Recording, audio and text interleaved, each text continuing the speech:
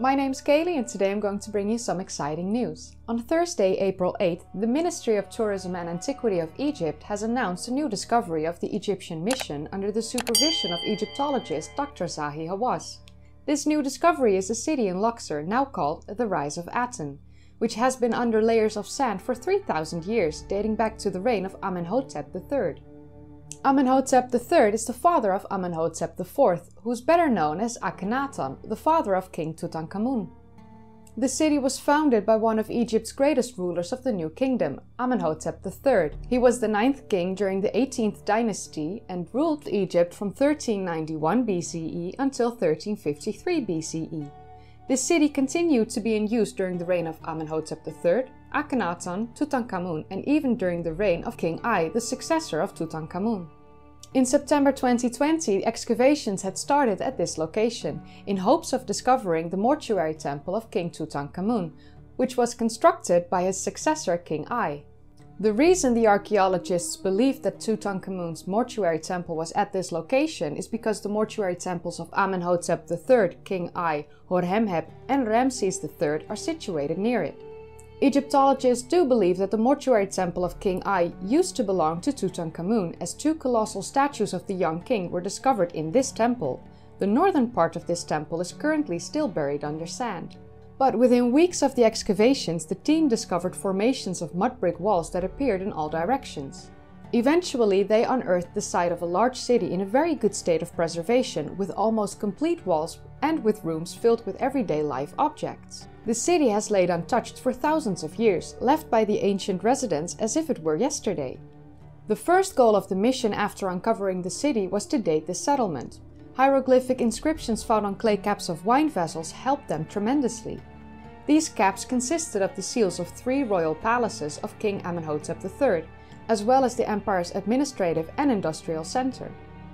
The archaeologists made a large number of finds such as rings, scarabs, colored pottery vessels and mud bricks bearing the seals of King Amenhotep III, confirming the dating of the city. After only seven months of excavations, several neighborhoods have been uncovered. In the southern part they have discovered a bakery, a cooking and food preparation area complete with ovens and storage pottery. The kitchen was catering a very large number of workers and employees as can be stated from its size. The second area, which is still partially below sands, is the administrative and residential district, with larger and well-arranged units. This area has a zigzag wall, as can be seen in the photo here, with only one access point leading to internal corridors and residential areas. This single entrance makes the archaeologists believe that it was some sort of security, with the ability to control the entry and exit to the enclosed areas. Zigzag walls are one of the most rare architectural elements in ancient Egyptian architecture. It was mainly used near the end of the 18th dynasty. The third uncovered area or neighborhood is the workshop. On one side there was the production area for the mud bricks used to build temples and annexes. These bricks bear the seals of the cartouche of King Amenhotep III, Neb Mar Ra. On the other side is a large number of casting molds for the production of amulets and delicate decorative objects. This is evidence of the activity in the city to produce decorations for both temples and tombs.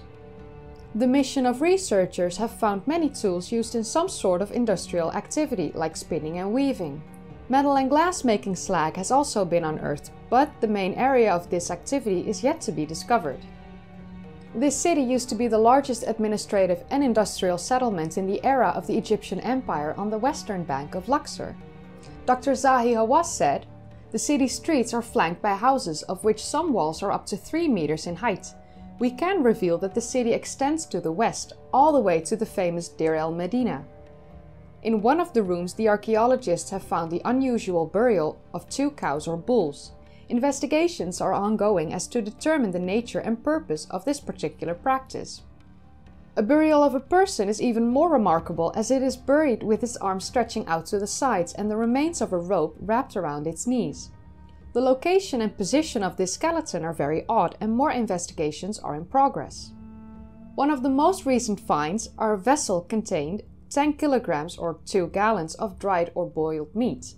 This vessel has a valuable inscription, Year 37, dressed meat for the third Heb Sed festival from the slaughterhouse of the stockyard of Ka, made by the butcher Luwy. This information not only gives the researchers the name of two people who lived and worked in the city, but confirmed that the city was active at the time of King Amenhotep III's co-regency with his son, who later became known as Akhenaten. The excavations revealed a mud seal with inscriptions that can be read as the domain of the dazzling Aten as well. This is the name of the temple built by King Akhenaten at Karnak. As history has told us the story, one year after this mud seal was made, the city was abandoned and the capital relocated to Amarna, under the rule of Akhenaten. But the questions remain. Was the city abandoned completely? Why was it abandoned? And why was the city repopulated again when Tutankhamun returned to Thebes, also known as Luxor?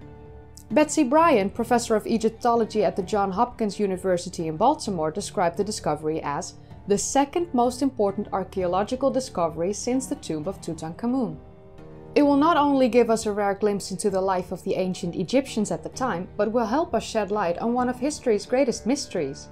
Why did Akhenaten and Nefertiti decide to move to Amarna, she said. The announcement of this discovery comes just days after the historic Pharaoh's Golden Parade from Saturday, April 3rd, which saw 22 royal mummies transported from the Egyptian Museum on Tahrir Square to their new home, the National Museum of Egyptian Civilization.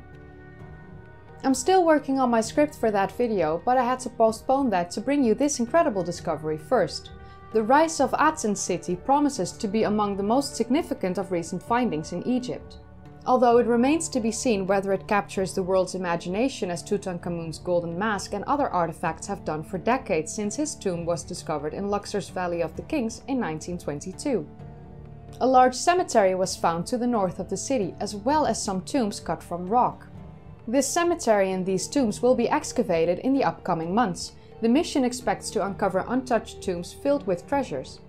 I'm incredibly excited to see what more the archaeologists will uncover in the upcoming months. It's beyond exciting to see how much is being discovered in so many different locations in Egypt. But with that said, that's all the information that's been given to the public at this point.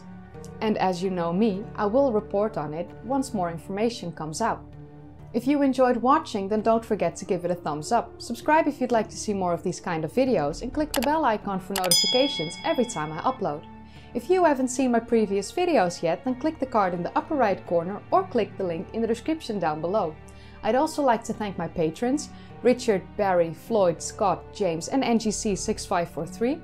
And with that said, I'll see you in the next one.